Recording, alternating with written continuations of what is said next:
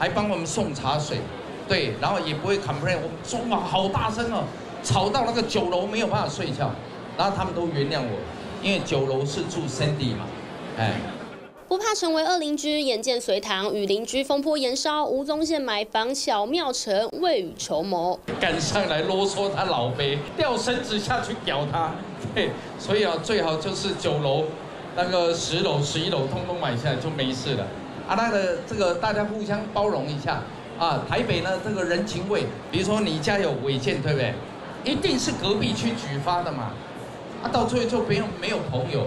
人跟人之间呢多一点爱。先前一次豪砸四亿买下两户一百三十三平的豪宅，一栋送给女儿 Sandy 当新婚房，两人成为楼上楼下的邻居。而谈到土耳其地震，吴宗宪霸气说会捐物资，还很像这位宿敌。捐的一项比他多，九二一我捐五百万，他说他在翻尸体。一起海军陆战队，你不去当兵，你的公杀喂捐才捐一百万，拿出来说嘴，而且我搞。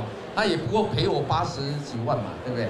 对呀。话说得很酸，但吴宗宪的大方有目共睹。购物专家陈真上通告透露，吴宗宪开工红包的金额是别人的二十倍。那个是一点点，对。人家十倍到二十倍。十倍到二十倍，那一定要的啊。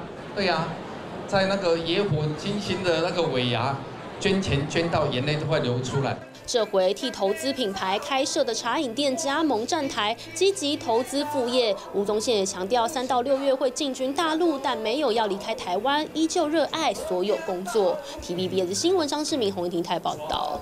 掌握全球情势、国际新闻，全新选择 YT 频道 TVBS 国际 Plus，扩大视野。欢迎订阅并开启小铃铛。